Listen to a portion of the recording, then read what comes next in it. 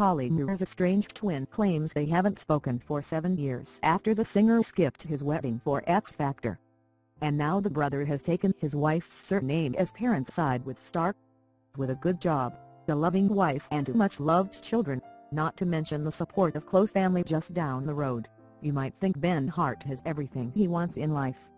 By all accounts, the 32-year-old has done well flying once a week to work in Holland as a respected engineer before returning home to a comfortable three-story residence in the riverside village of Woodham Ferrers in Essex.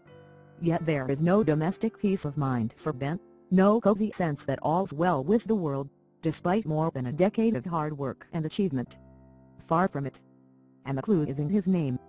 For the man who calls himself Ben Hart was once known to the world as Ben Murs, the inseparable twin brother of singer and TV presenter Olly, but who is today best known as the other half of the most poignant rift in British show business. They have not spoken for seven years. As he explains today, Ben is completely estranged not just from his famous twin, but also from his parents and sister, who have sided with Olly.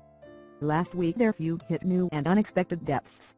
Seemingly to promote Olly's new UK tour, the twins' mother gave an interview which included devastating personal details of Ben's childhood, revealed that for all his professional accomplishments since, he grew up with learning difficulties and, most seriously, claimed that he had broken her heart so badly she fell ill.